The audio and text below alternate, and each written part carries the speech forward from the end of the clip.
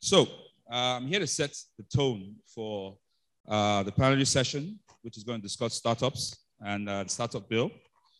Uh, I've been told I have 10 minutes, so I'm going to use this uh, very wisely. Um, as we know, innovation precedes regulation. The question always is, you know, how do we bridge the gap between innovation and regulation? This is why we're here today, to understand the relationship, the interrelationship between what the policymakers do and what the practitioners who actually create these great ideas and values, um, how we could bridge the gap. Uh, so growth often comes with inconveniences, as we know. Um, you generally refer to it as disruption. Uh, we're going to talk about what disruption means and also what displacement means, which, which, is what government sees a lot of times when disruption happens. Uh, you have to think about the stages of any transformation, like the butterfly uh, or like children if you have kids. This is uh, work changing this thing. Okay. So, in the notes for this event, I was asked to talk about the United States. And, you know, I always have an issue comparing us to America and I know everybody does the cardinal sin, sin, sin of comparing us to India. But once again, I've come and I've come with uh, India comparison.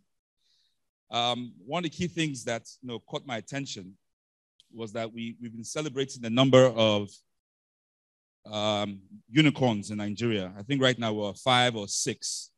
And recently I saw data that showed that India has done about 38, you know, in 2021 alone.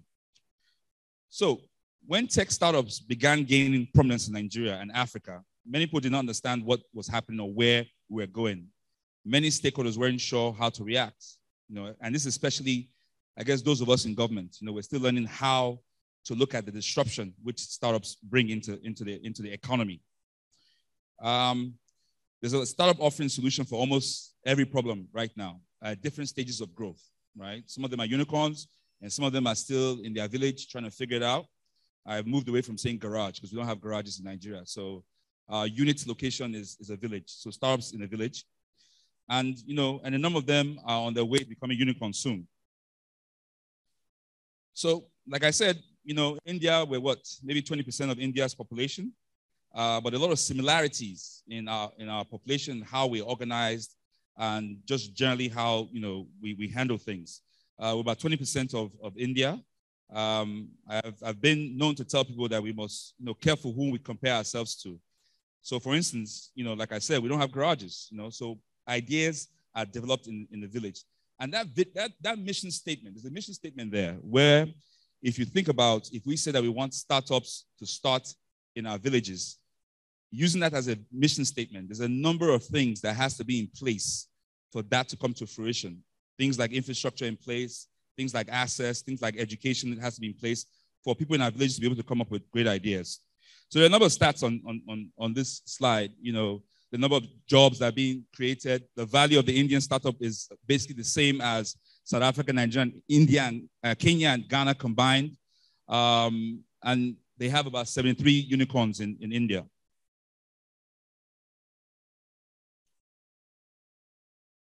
Technology fail? Ah, there we go. So, as we know, Nigeria is a huge market, right? So there's the idea of the supply and the demand, right? Oh, whoa. How do you take this thing backwards? Wrong slide. There we go.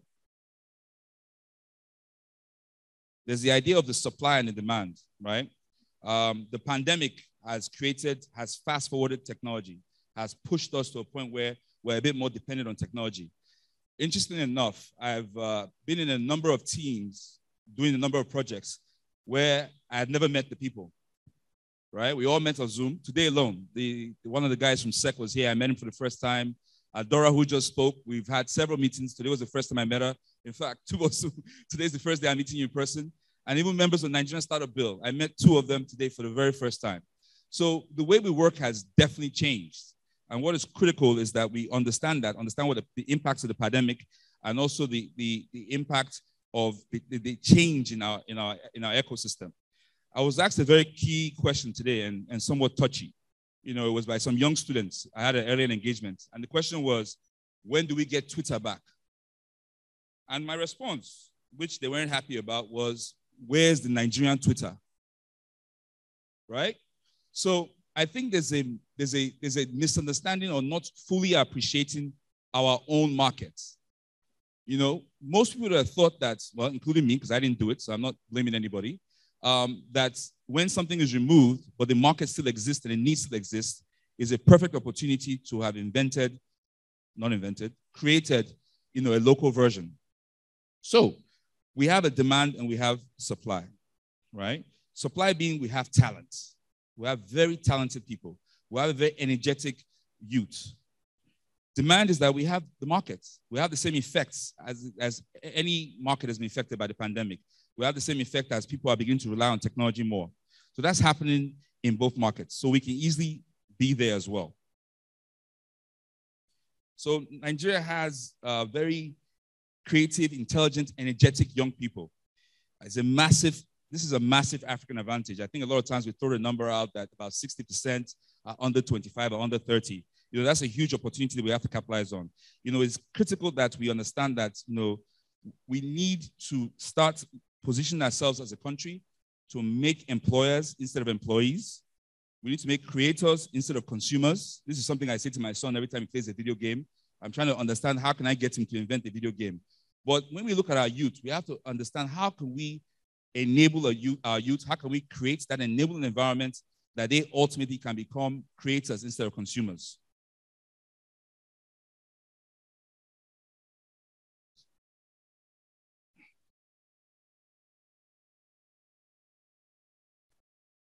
Okay, so that I don't get uh, flogged by the organizers, I was my notes. I was I was I was said to speak to speak about American and the various policies that they they have there.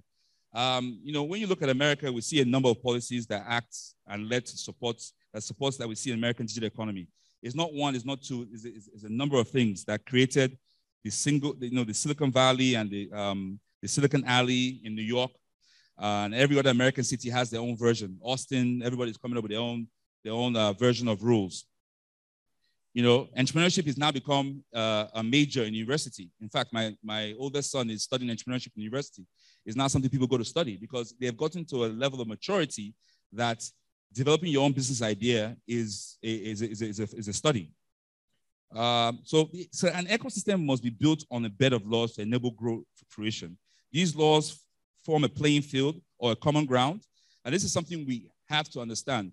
I've been asked the question, I think I was told the question was asked earlier why do we need a startup bill? Now, one of the key things we have to understand is that we don't have a playing field. For rules to, for, for you to be able to create value and be able to engage with both sides of the ecosystem, both sides of the ecosystem being one side being the policymaker and the other side being the practitioner, you have to have rules playing the playing field. You have to be able to have a common ground, a common understanding, and that's what the, one of the things the bill brings into uh, into play.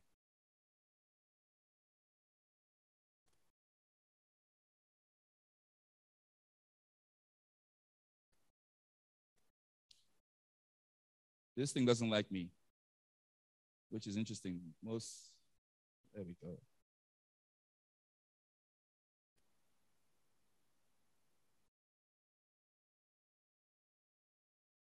Okay. So why is there a need for the NSB in the first place? So that I'll say the major reason is the opportunity for both sides of the ecosystem, government and private sector, to engage each other. All steps leading to the creation of the bill involve crucial conversations between ecosystem practitioners and government, which is the key problem that we're suffering today, is the lack of engagement. These conversations enable both parties to understand each other and work together. For our nation and its economy to grow, there is a need for collaboration between all sectors and the government, whereby decisions are made to benefit, benefit us all. So the NSB aims to ensure better regulatory certainty, you know, so that laws and policies that affect startups provide much clarity and are scheduled and timed. I think that's one of the issues. One of the key things my team always says is, you know, friendly regulation. And I tell them regulations don't need to be friendly. What they need to be is planned. What it needs to be is you need to understand what it means and you be able to plan against it. Sure, friendly regulations will be good as well. Another major reason for the NSB is to create an enabling environment for startups, an environment that values innovation and encourages initiatives needed for growth of the economy as a whole. Ultimately, the strength of a nation is the people. And one of the key things Nigeria has is a lot of young people. This is why NSB aims to develop its people in tech space and encourage innovation. So I think I'm, I'm running out of time, but it was critical that I um, just highlight some of the areas of the bill. So the bill has a number of areas. Um, one of them is a council, which we're setting up. Now, the council, hold on a second.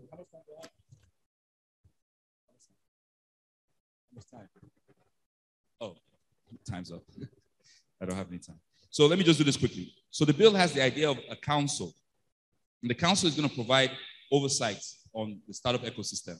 The council is balanced between very senior government officials and private sector players, funders, early stage startups, startups, a number of them. It's a balanced council.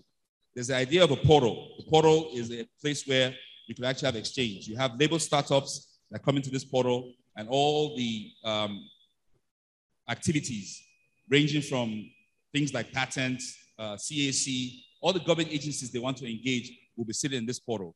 Um, things like credit schemes, a fund, will all be accessed through this portal. Talent development, incentives, there's such things as tax incentives uh, for people who work for startups, tax incentives for angel investors, tax incentives for local investors, because we want to encourage local investors. And lastly, because I'm sort of rushing, I apologize, um, is there's a seed fund that's been set up that will be managed by the NSIA to help um, get startups going. Because one of the key things is that we want startups to uh, not want just be encouraged, but be financed locally uh, before we start looking for um, global investors. So I will stop there. Basically, what I, on this slide is just basically some stats. Uh, we've had a lot of engagement, um, and it's still ongoing, um, ranging from a lot of volunteers. The youths are very excited. We have over 300 volunteers that have volunteered on the project, doing a, a range of things. We've had several town halls around the country, focus groups, uh, different focus groups for people to review the bill and give feedback. And the current status now is the bill is pending um, review and approval by the Federal Executive Council. And this is how you, you reach us, follow us, support us, uh, give feedback, share. Thank you very much. Thank you so much. we also like uh, each and every one of us to please, let's do this. Let's put our hands together one more time, ladies and gentlemen.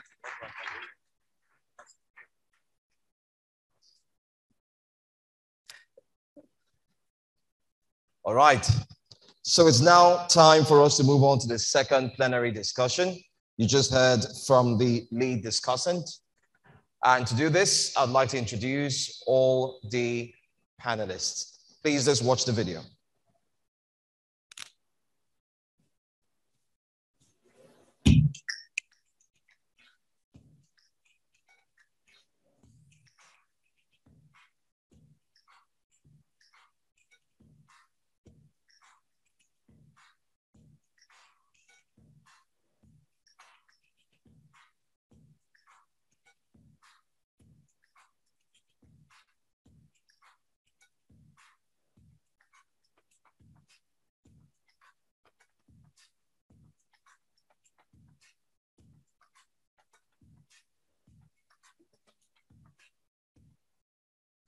All right, let's put our hands together one more time. We have seen them all. Now it's time for us to invite them on stage. So please, we'd like each and every of our discussants to please come on stage. We'd like to invite Executive Director, Sahel Capital Partners, Olumide Lawson. Please kindly join us on stage, please. We'd also like to invite uh, Solape Hammond, Special Advisor on SDGs and Investments, Lagos State. Thank you so much. Please let's put our hands together, ladies and gentlemen, please.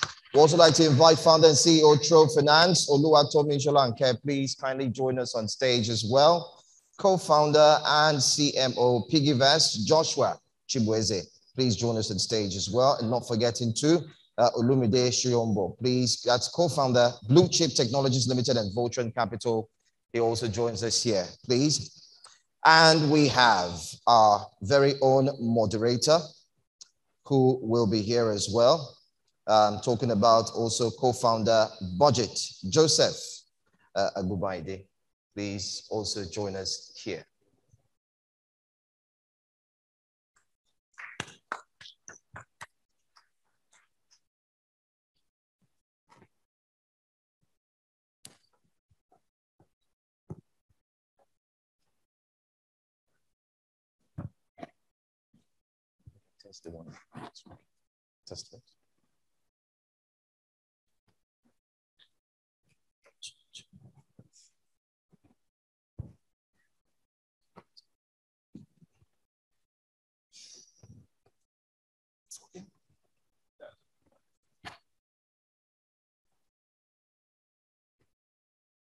Okay. Hello, everyone. Good afternoon. Are we having a great time? Okay, great. Um, so let me jump in quickly. Um, thank you so much, um, Mr. Guobadia. I hope I didn't murder the name. all right. Um, so on the panel, um, you've heard all of their names. So I'll just start with you. Um, thank you so much for that insightful, um, you know, session. And so the question um, I would like to put to you first is, um, what will be the next, the extent of involvement of government in the startup ecosystem in line with this um, startup bill? You can just.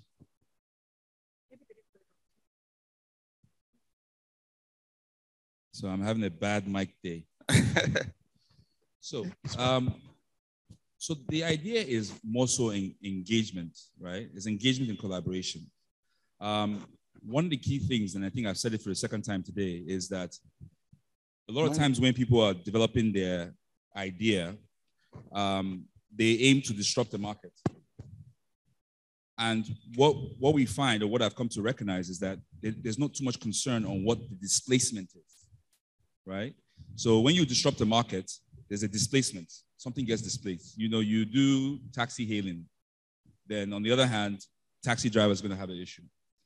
So it's really about having a conversation with government, right? So a lot of these ideas are somewhat, lack of a better description, um, are being done in the dark, right? So you're doing this idea and it's causing disruption in the real market. And what would need to happen is an understanding of what the idea is and be able to graph out when you're going to be able to create value for that displacement that you caused. So that takes a conversation. That conversation is not happening. So what you tend to find is somebody is doing a fantastic idea. Next, you know, the regulator does something. There's an issue, but there's a there would have been a conversation that would have prevented that. Well, thank you for um, that um, insightful. Um, so to answer your question, basically you asked me what is the level of engagement? Yeah, yeah right? absolutely. It's really about ensuring that both sides right? So even before i started this nigerian startup bill initiative um, i never really thought of the ecosystem beyond you know the guys i know who are creating fantastic ideas right? So the understanding that the ecosystem actually has two parts government and policymakers and practitioners and the continued collaboration and the continued conversation right it becomes a, a, relationship, and that's a true ecosystem in the biological sense. That's what's required. So it's not really from a sense of what is government's participation. It's really from a sense of what is both parties' engagement, what level of engagement they, they, they're going to have. I think I'd like to ask one more question. Uh, ask you one more question before I, I move, uh, move on on this. Um, you know, the worry the citizens have is the, um, you know, this is, you're, you're going to be legislating startup. you know, um, so to what extent do you think that um, you know government can actually um, when they come in, you know, so, because right now we feel that um, you know maybe just a little thing that we want from government. Now it's going to become a law. It's going to become you know enforcement and all of that. So can you speak to that? Um, you know, to what extent can this um, legislative work, you know, impact um, the startup as it is? Will it, will it also disrupt? Because we talked about the fact that disruption leads to displacement. On your own side, now you're going to legislate this thing. Um, to what extent um, is that going to affect what we have today? So I, I understand the fear, and I've, I've, I've, heard that right from the beginning. We've heard this particular fear. Um, I would say that the, the legislature is, is, is primarily to to create the conversation, is, is primarily to create a mode of engagement. So I think towards the end of my slide, I didn't get a chance to break down all the different things that are happening. You know, there's a lot of uh, enabling initiatives or enabling um, uh, laws in the bill. Um, but one of the key parts that I'm really excited about is the idea of recourse, right? So today you don't really have recourse. So in the bill, you have the ability to say, here's an issue, let's table it, and let's discuss from both parties what this issue is. What is disruption? Fantastic. So you're saying if we do this over five years, we'll get 50x in the economy, right? And we're just displacing something that's giving us 2x.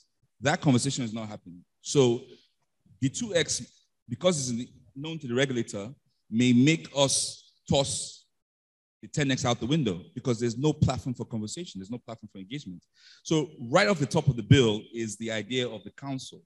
And that council is a place where even the work happens, the council, but the work happens behind. There's a secretariat and a number of other things that are in the bill that shows that is an, the idea is that you continue to have a conversation. Even the portal has the idea of consultative parties, as in anybody who has a startup can be part of that consultative party to start discussing what the issue is and what the potential of what they're working on, so that that disruption displacement is understood and managed out. So right now, all you're feeling is disruption, and all the policy uh, maker is seeing is displacement. And if you don't educate them, and they don't want to be educated, you're going to have the current state of affairs over and over and over again, and there's always fire on the mountain. So it's not. It's not. I know the, the, original fear of the bill is that you're coming to re regulate uh, startups. You're coming to you know innovation that shouldn't be held. It's not so much trying to hold innovation. It's really trying to create an enabling environment for it. So I'll give you an example. Um, this one I, I ran into a podcast recently. Um, this was about the company RIM, RIM Technology. Um, somewhere in 2001, they were sued for uh, infringement, patent infringement. Now, five years later, they get paid $600 million just for patent infringement. Now, those kind of things don't happen if you don't have a playing field right? If you don't have that playing field, then there's no there's no rules of engagement where you say, okay, this rule we actually can follow up on this particular rule. This is a patent rule, and something upholds it. So that's if you think about it, that's another level of startups because the company owned the, uh, the, the patent wasn't doing anything with it. They, they weren't trying to do the new BlackBerry. They just had the patent. And it later turns out that the patent wasn't even truly valid. That they got $600 million for nothing. Right? Because RIM paid it irrevocably. So we, are talking about creating the enabling environment for you to have ideas that you don't even execute, but you've packed it, and for you to actually have ideas you build out. So it's not so much that the, the, the, the, the, the law is a regulation. It's not. It's how do we co-create regulations is what the law is doing. What is the process in which future regulations will happen? So lastly, for instance, all new regulations as per the bill will go through the bill. So the, the new regulations has to go through the, the, the, the, the consultative, consultative body. So somebody in some MDA cannot just come up with a new regulation and be off with it. It has to actually go through this process. That's one thing. And sorry, I said last, let me just add this. The other thing we're also doing is that one of the things we realized through the process is that a lot of things, and, and we've already started this conversation, a lot of things that we find that um, affect uh, startups are not always national. A lot of times they're also subnational. So the conversation with states has also become very important to engage states to try to domesticate the Nigerian startup bill in their states so that we now have you know bills that are you know from a national level bills from a subnational level that are, that are domesticated with the state strategy um, but the general idea is that you now have a, a, a complete fabric of laws that guides your startup. Then you now, as a, as a founder, will now decide which state you want to you want to build your startup. Thank you. Thank you so much. Um, some of the key points you mentioned are we talk about disruption leading to displacement, talk about clarity on regulation um, in each industry. Um, you also talk about the fact that uh, you know justice is something that is important for growth. Um, you know you can easily sue and get sued. Today in Nigeria, I think that is a big deal. Um, you talk about co-creation between startup and regulators. Um, and then, of course, um, subnational bylaws, you know, to align with subnational bylaws. That's um, very helpful. Uh, my next question will be to Olumide Lawson, the Executive Director of Sahel Capital. Um, the investment landscape in Africa is fraught with challenges and risk for investors. Um, with currency risk as one weighty challenge of investing in Africa, um, as well as political risk. This risk further exacerbates um, the problem that startups on the continent face with regard to accessing capital. Investors become greatly reluctant to participate in the investment climate in Africa because of these concerns and fears.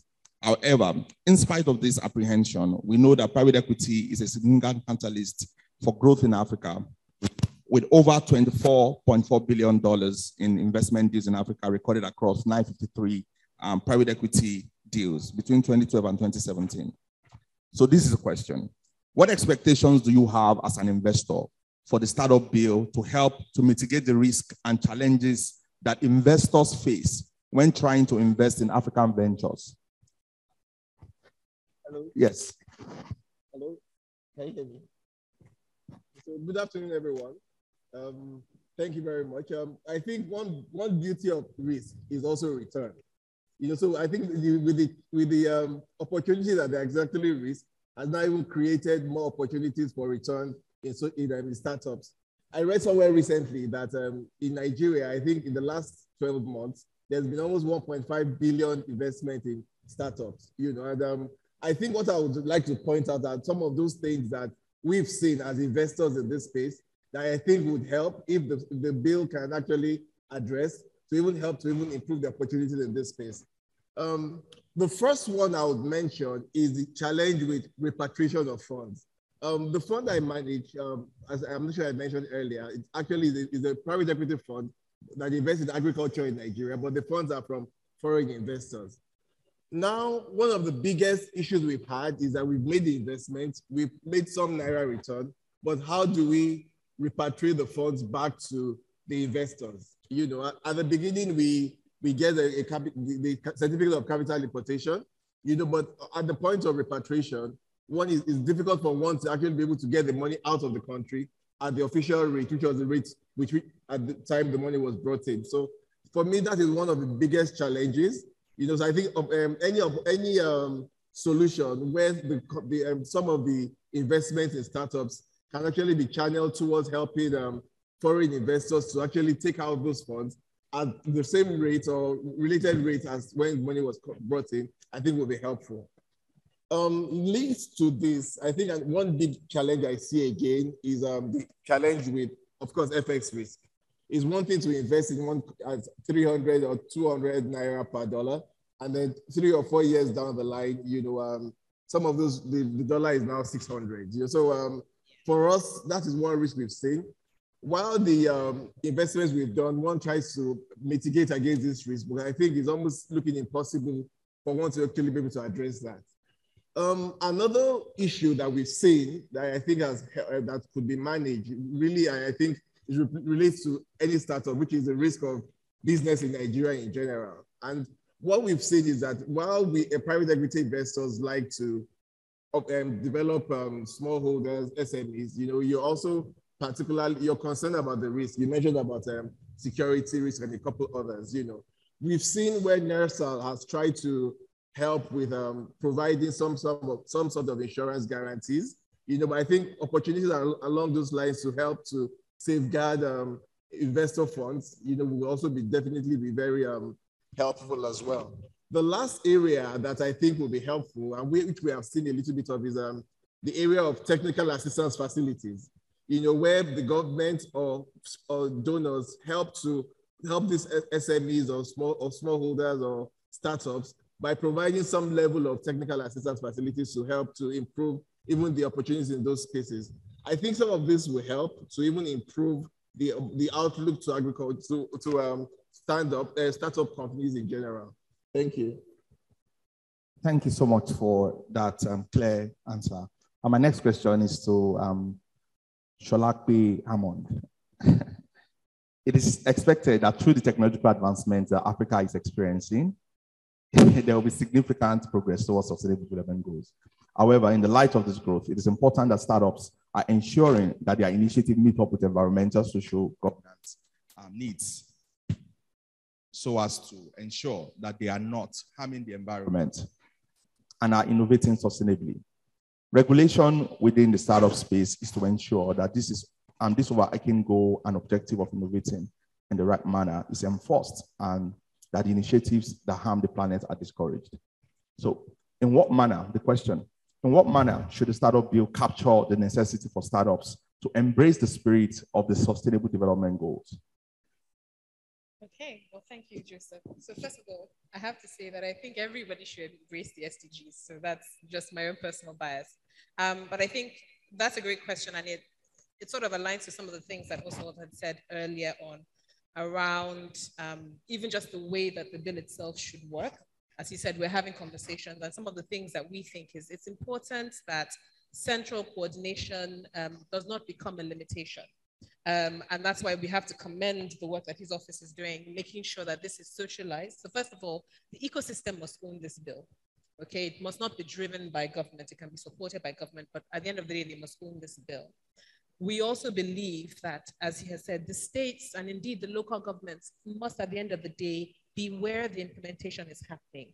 And how does that tie to the question that you've asked? It's very difficult to solve a problem from a helicopter view. You're looking down. You're going to see, and I think that's why you see a lot of Me Too, um, a lot of Me Too applications. Um, people do things that they've seen done in other places. You may not really be applying local knowledge to solving a key problem.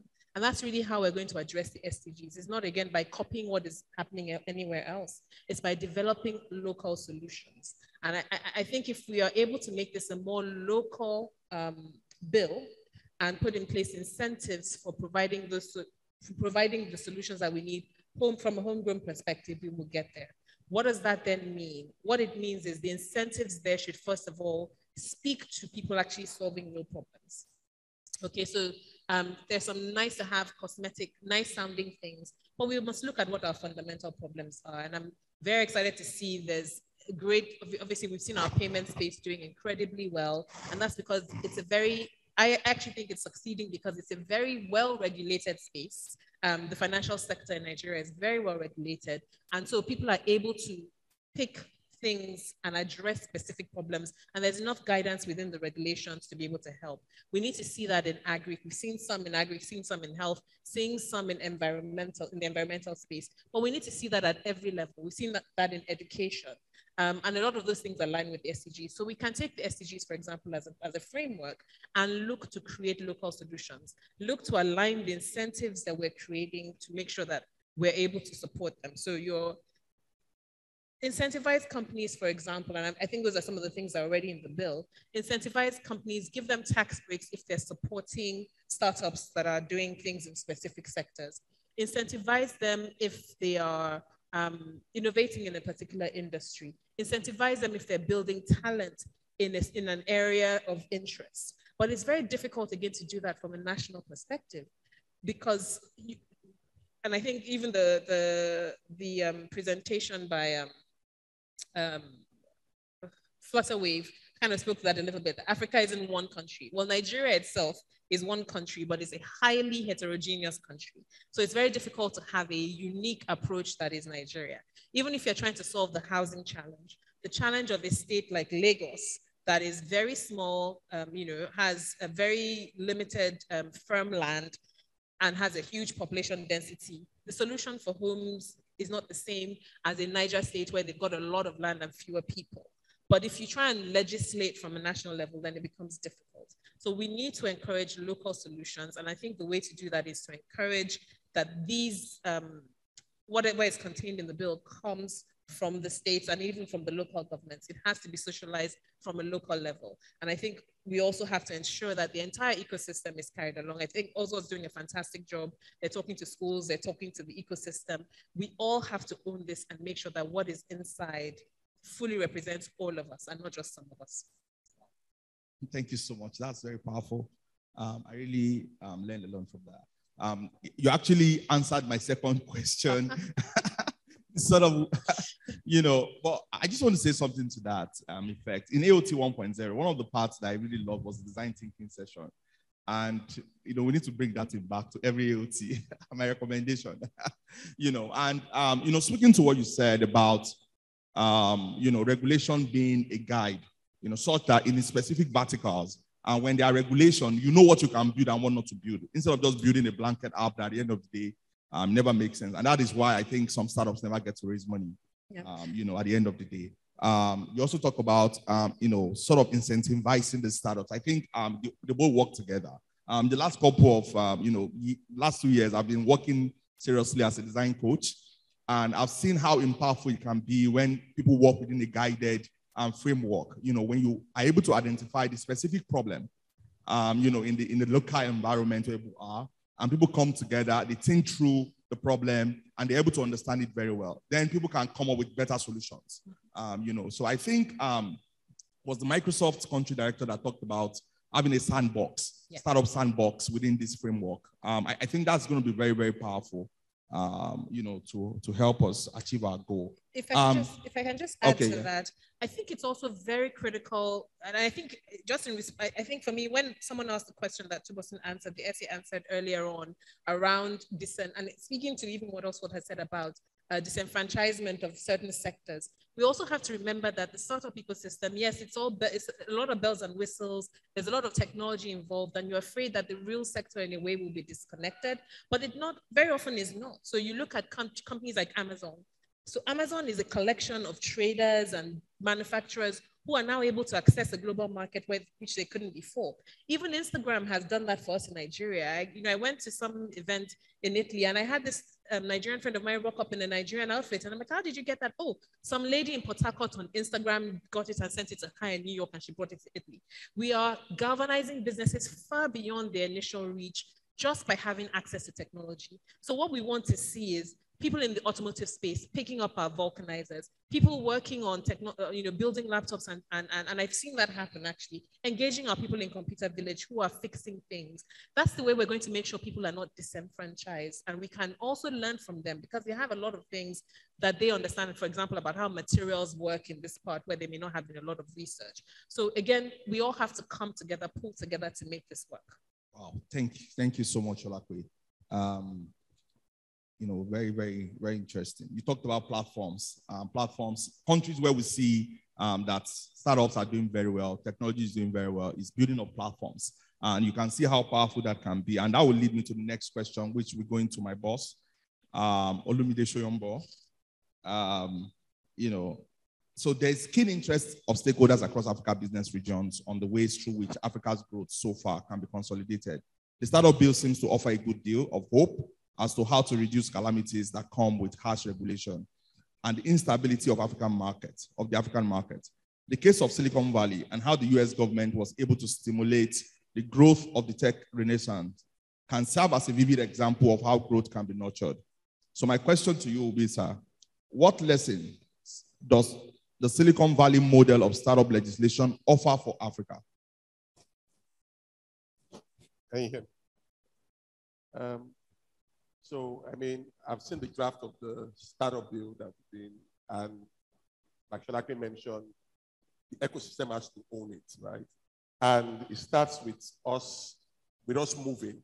So you find out that the ecosystem starts moving, and then we stop by the bus stop and say, hey, government, jump in, oh, this is where we are going.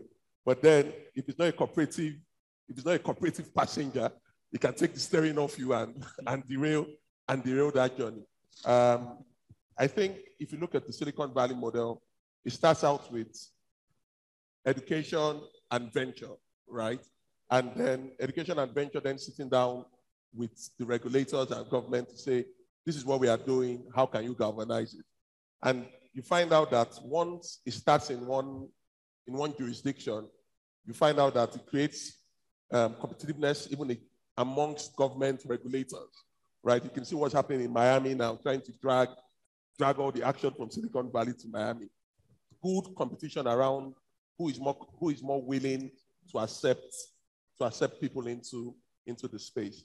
Um, speaking as an investor, both as an angel and now running a fund, part of the things that the startup bill tries to encourage. So even before we had the startup bill, people were already investing, right? We're already backing interesting companies. And then how do you further incentivize that kind of behavior? Part of it lies with governments, obviously, but part of it also lies with the ecosystem itself. Um, when, when I'm investing in a company, the first thing I'm, I'm, I'm not first thinking about what tax credit am I going to get. I'm thinking about, okay, is this investment going to with what's my risk appetite for this investment?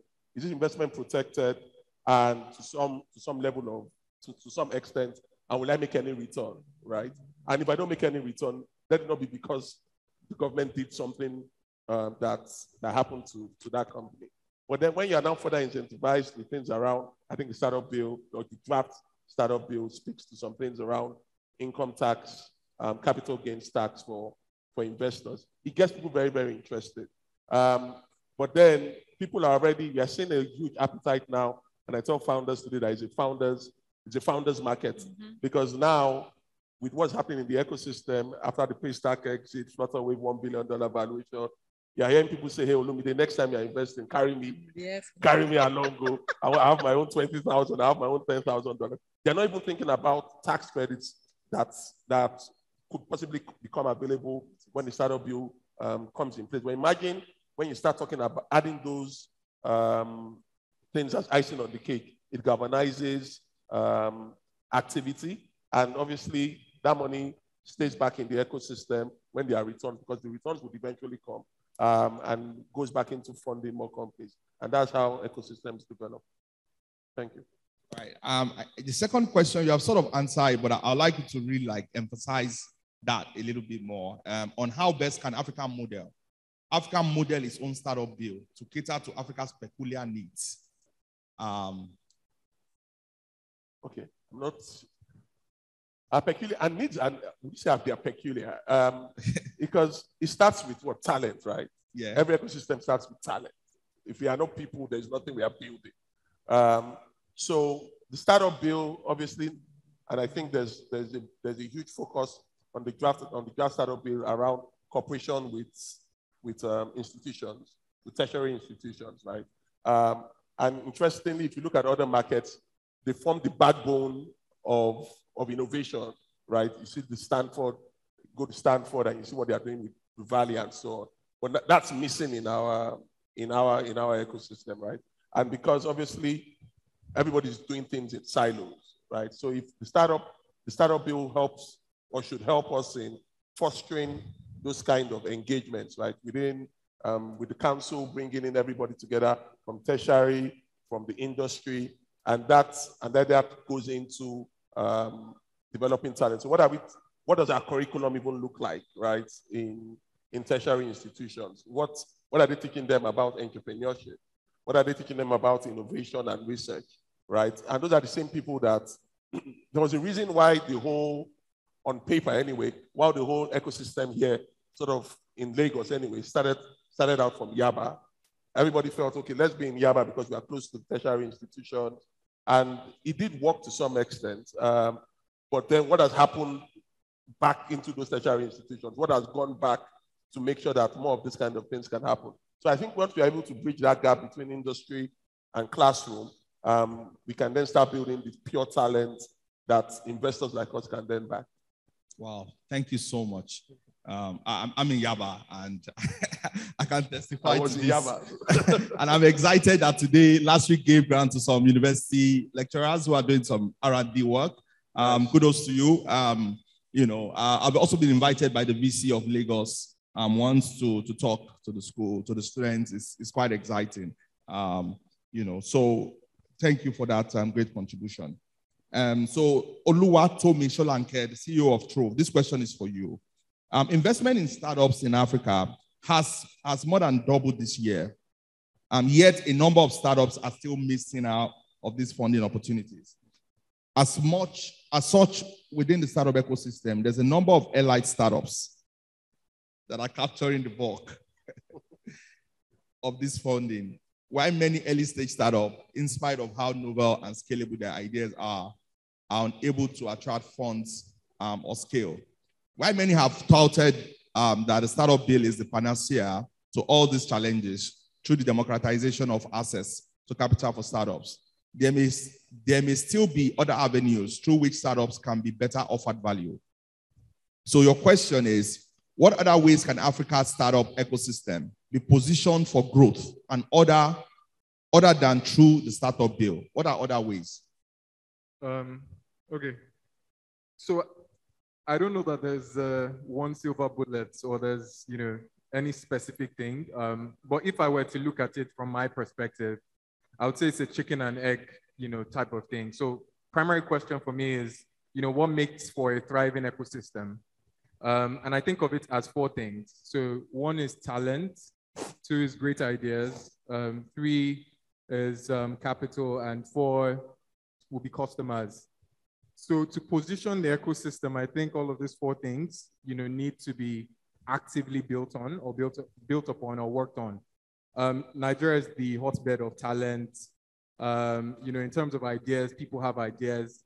Um, I think the key missing pieces would be one capital, which is you know beginning to become you know a little more um, available. But four is you know customers, and you know to solve two of these things is you know more macro than anything else. Um, and so things, events like this, you know, that are, you know, a, you know, private, you know, public sector type of, you know, engagement or platform through which, you know, you can interface with government. You know, I think those type of things are key. Um, so the bill in itself is very interesting. I think it provides an avenue for people to start companies, for people to scale companies. But then when you start a company, key thing is, you know, customers, disposable income, you know, all of these things. Um, and so I think, you know, more active participation in, you know, government, um, social, in, social issues, um, and things of that sort, I think um, would properly catalyze um, the ecosystem.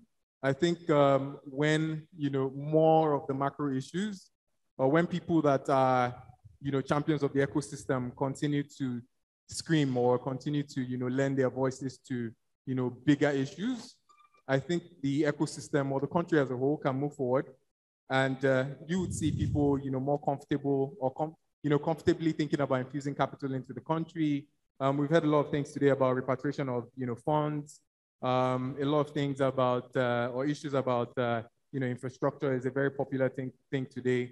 So I think like once, you know, more of those macro issues, once we continue to lend our voices towards um, solving a lot of these macro issues, I think it will trickle down to, you know, things like pushing the ecosystem as a whole. And I don't think it's a, you know, one day process. Um, you know, Silicon Valley that we scream about today and we, we've come to appreciate and love um, has been something that's existed for, you know, for 50 plus years.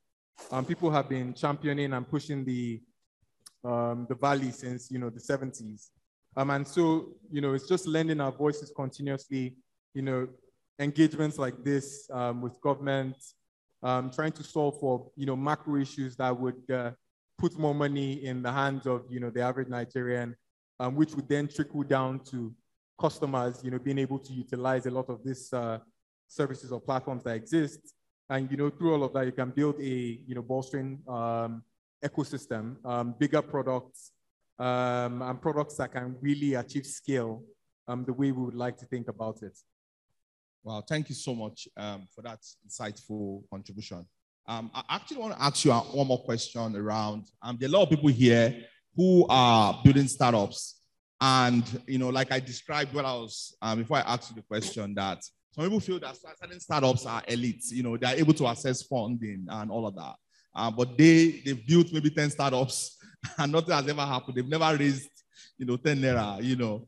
Um, as someone who, who's, who's got experience in that, um, you know, um, aspect, what, what would you say to such a young, early stage startup that, that is struggling to raise funding? Do you want to speak to that? Um, I, I, think I would like to throw that question to you. Okay, both of you. Okay, let's let um Olumide speak to it. Me? Yes, please. Oh, okay. Um, so interestingly, both Tomi and Josh are companies I've invested in. okay. operators okay, on the, great. On the, on the panel are companies I've invested in.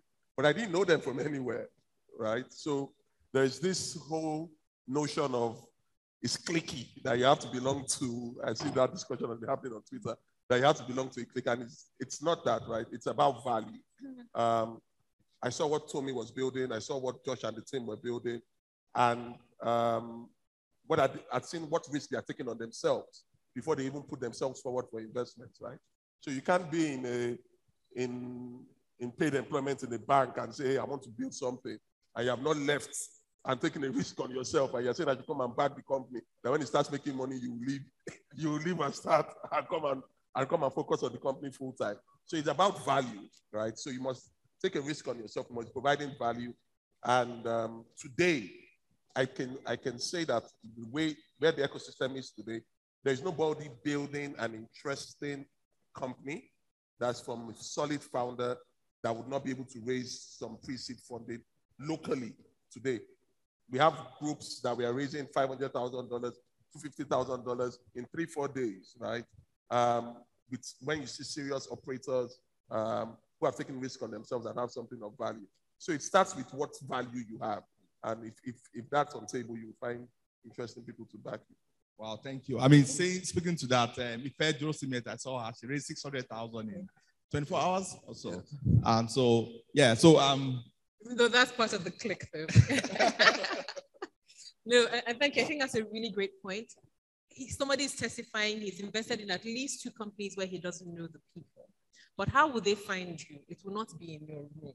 So I, I constantly say this to the ecosystem and to, and to founders. If you want to start something or when you're ready to start something, please, please, please join a hub. Find your peers. Let people know what you're doing.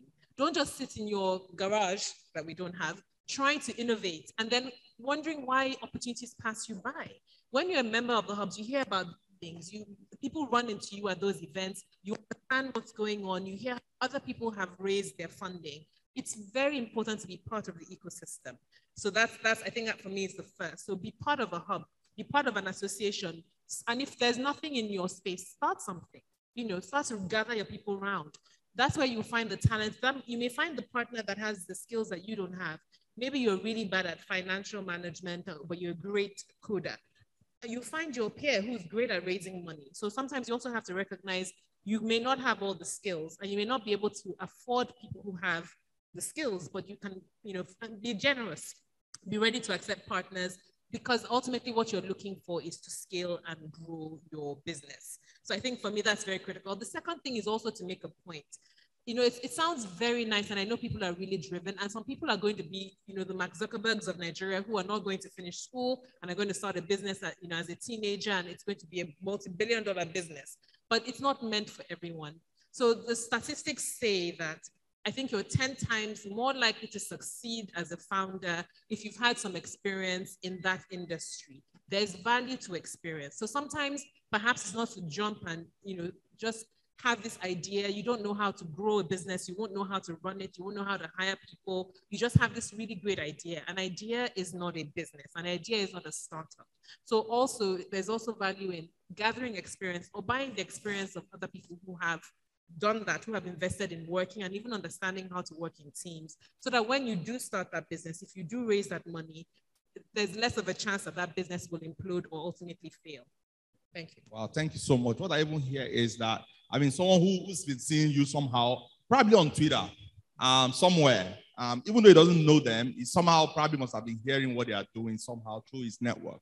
Um, you know, like tomorrow there'll be a party, for example, a tech party that's been yeah. happening for years. So yeah, make me groove. You know, some people don't even know about it, and you're building tech startup. Eh? So please join the community and join a hub, attend tech uh, meetups, uh, meetups. You know, those days what we used to do, we just go to meetup.com, we go to Eventbrite. We look for tech events happening before COVID. I mean, those days.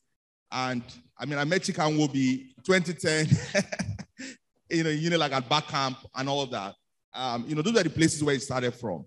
And so please, when you hear something is happening in tech ecosystem, please try and participate. Don't just stay there.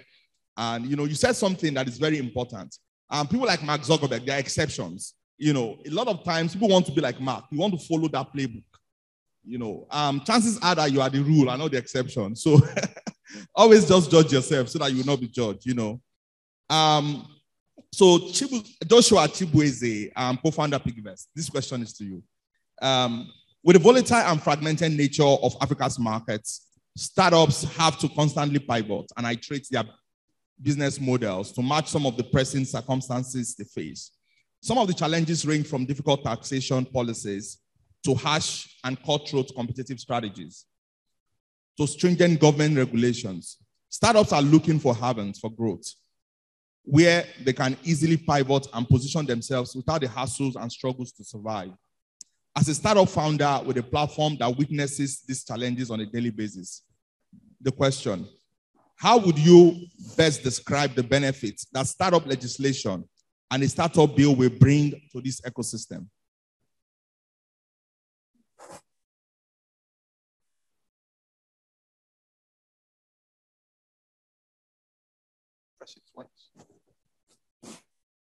Speak. Okay. Yeah.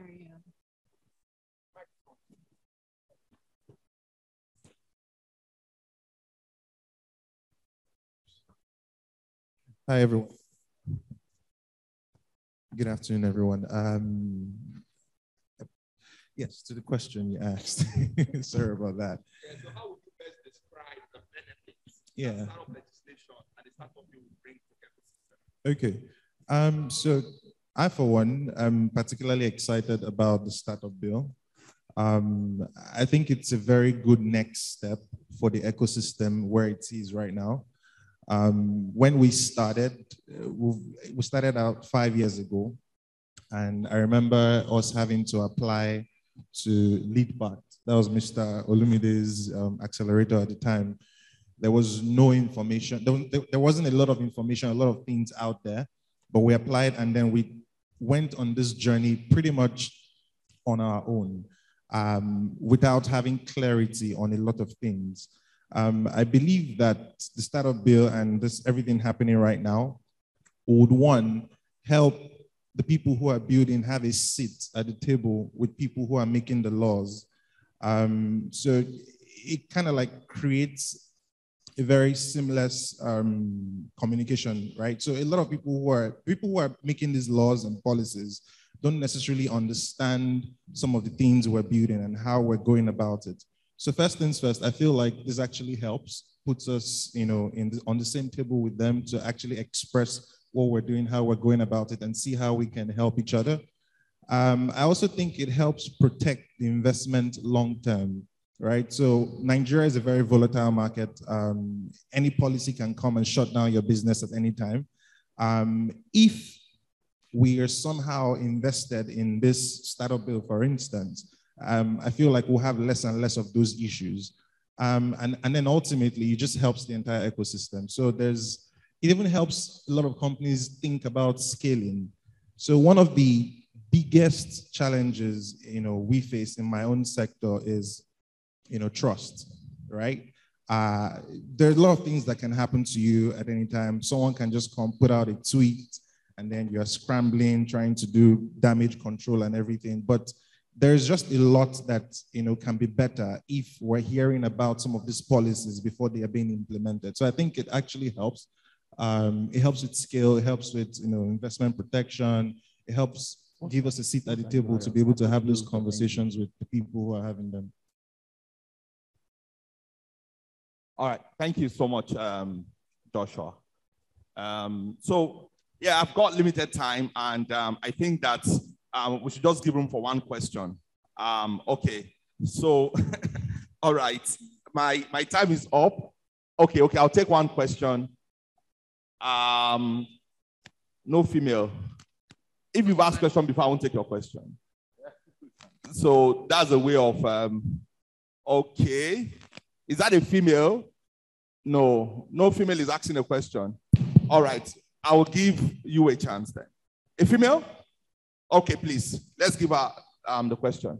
Female, please. I, am really sorry. I know I can see a couple of hands, but I think we need um, to get actively, you know. oh, oh, okay, only Solape. So next time, please, we'll need more females on the panel. Hi, thank you very much for this session. My name is Oluwadamnola Shoyombo. Um, so my question is for a startup. Um, so I'm a founder. Um, for someone like me who is, let's say, new to um, the startup space, how would you advise, like, when it comes to raising funding? Um, I'm looking into debt equity, but there are not so much opportunities in that um, area. So like when it comes to debt funding, Like, how do you go about that? Yeah. Um, did you get and, the question? And are there like sectors in the space that are focused on that? I didn't hear the sector. Did you debt? Did you say debt? Yeah, yeah, raising debt in, raising place of debt. instead of equity. So you'd rather raise debt than equity? Yes. Hmm. yeah, Solape, you want to speak to that? Okay, so um, so first of all, I think the first the answer to your first question yeah, is you, you will as speak I to said, that, then we'll, we'll leave the stage because time has been passed. I think the answer to the first question is join a hub. You know, get familiar with information, understand what's going on in your me, sector. Like, um, okay. ago, Um, minutes it's ago. interesting if you say debt. it's It's surprising that you would want to borrow because it's it's very difficult to scale with just debt.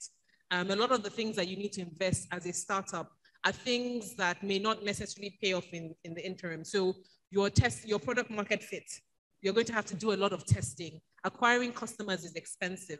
Those and you don't know when the payoff is going to come. So it's very difficult to borrow money and then have an obligation that you have to service every month without knowing, and you're going to have to pay salaries, you're going to have to fund infrastructure, you're going to have to invest in the technology. It- It'll be very difficult to do that with money that has a certain repayment timeline, but you don't know when your money is coming in. So debt, that's why debt is usually not very advisable for a startup. Of course, we can listen to you. Maybe you have one secret sauce startup that Olumide and I can invest in. You know, me to have one small 10K. But um, debt for a startup is usually not the path.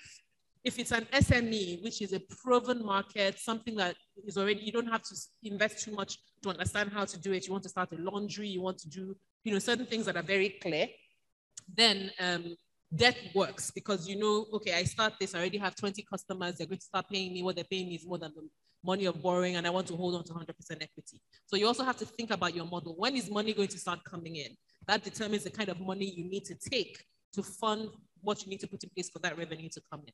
But join a hub. They will provide you all these advisory services. Have you done a business model canvas? Have you done a pitch competition? Have you document, do you have a business plan for what you want to do?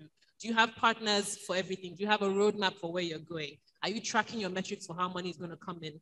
If the answer to all of those questions is no, join a hub. Wow. Thank you. Um, thank you. All right. Okay, you want to say something? Okay. One in one minute. No, I think just add to uh, a comment for you. There are very, very many sector-specific funders. You know, so um, depending on your sector, you may need to do your own homework to understand who are the typical funders, you know, that invest in your own area.